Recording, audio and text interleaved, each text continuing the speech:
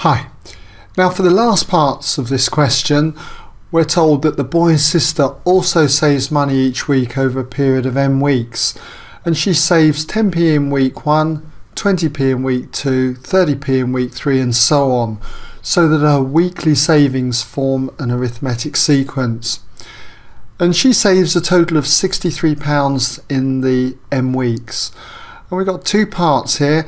We've got, first of all, we've got to show that m times m plus 1 equals 35 times 36.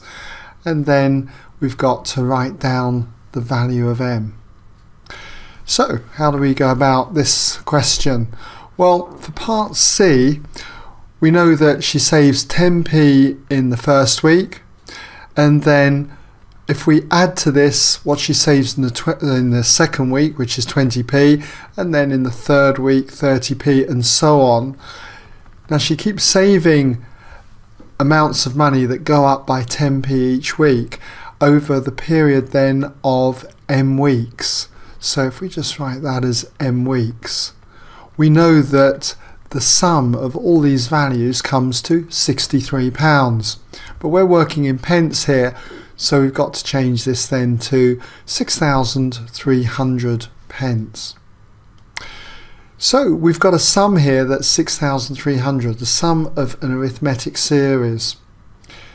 Now remember, if you've got an arithmetic sequence, a, a plus d, a plus 2d and so on, where all the terms go up by a common difference of d, if you were to add these terms together, the sum of the first n terms is equal to n over 2 all multiplied by twice the first term plus n minus 1 times the common difference.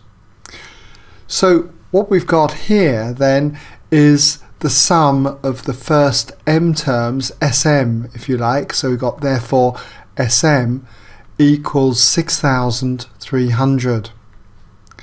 So all we need to do is replace the n here with an m.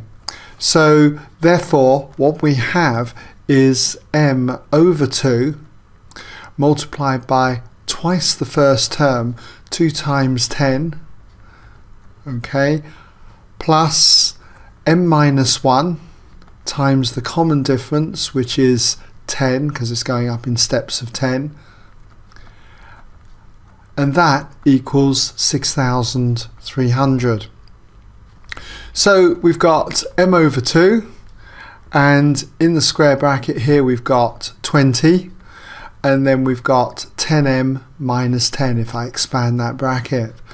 10m minus 10 and that equals 6,300 and if I tidy up what's inside the square bracket we've got 10m and then 20 minus 10 well, that's going to be plus 10 and that's equal to 6,300.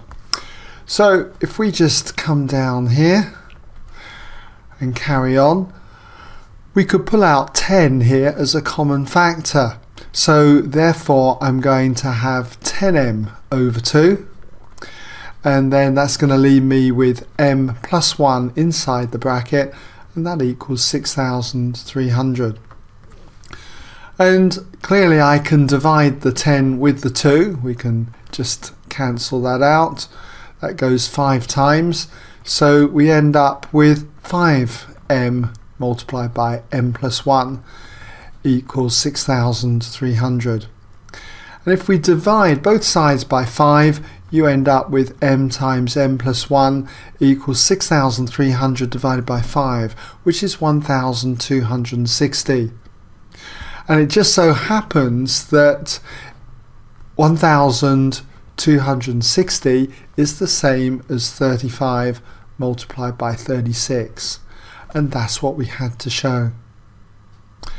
Now in part D we've got to now write down the value of m. It says hence so obviously this has got something to do with showing what the value of m is. Well it's obviously going to be 35 because you can see that if m is 35 35 plus 1 gives us that 36 okay well I hope that's given you some idea if there were any problems across these two parts of the question. Okay